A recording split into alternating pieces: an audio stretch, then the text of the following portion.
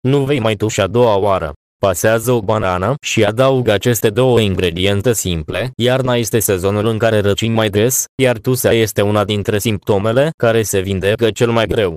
Chiar și dacă luăm medicamente uzuale sau antibiotice, după ce a trecut răceala sau gripa, tusea persistă.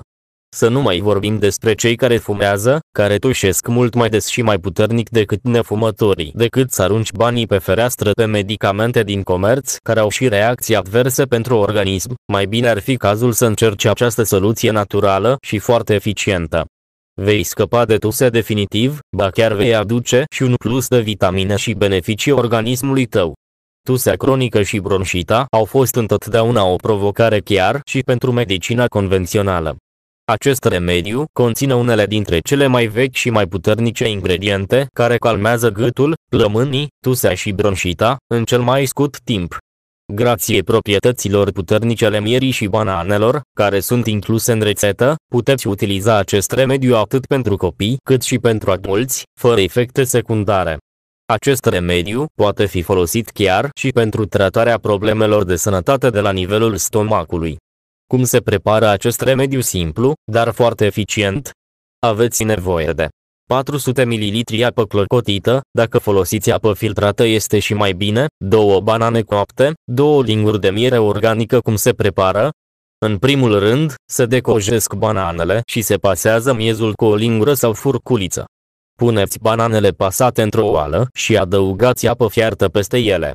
Se amestecă, se acoperă vasul și se lasă la macerat 30 de minute.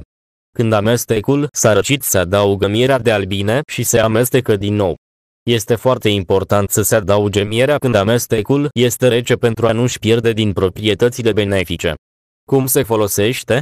Se consumă câte 100 ml din acest remediu de 4 ori pe zi, în total 400 ml pe zi. Această rețetă este suficientă pentru zi și vă puteți prepara în următoarea dimineață alta proaspătă pentru ziua în curs. După 5 zile, vor apărea rezultatele. Natura are resurse atât de puternice pentru numeroase afecțiuni ale organismului. Cu cât vom apela mai mult la ele, cu atât vom sta mai departe de reacțiile adverse provocate de chimicalele din medicamente. Pentru a fi de ajutor organismului nostru, trebuie să fim atenți la semnalele pe care acesta ni le trimite. Sperăm să vă fie de folos. Multă sănătate vă dorim! Abonați-vă, apreciați și distribuiți canalul. Multă sănătate!